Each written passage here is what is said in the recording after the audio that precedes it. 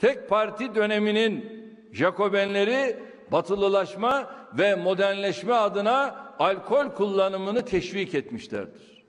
Bu ülke afişler asılarak tüm toplumun alkolün ne kadar faydalı olduğunu ikna edilmeye çalışıldığını günlerce, haftalarca görmüştür.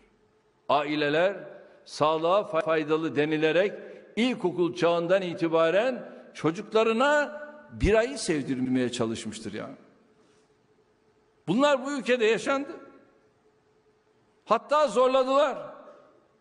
Tarih kitaplarını karıştırdığınızda maalesef Atatürk Orman Çiftliği'nde ellerine bira şişeleri tutuşturulmuş çocuk fotoğrafları görürsünüz.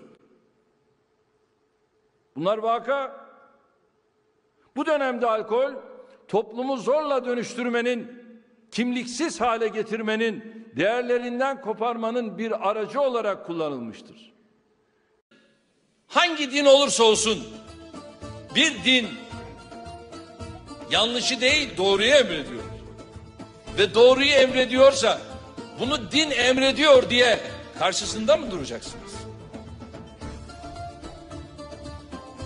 İki tane ay yaşın yaptığı yasa sizin için muteber oluyor da inancın emrettiği bir gerçek, bir vaka niçin sizler için reddedilmesi gereken bir olay haline geliyor?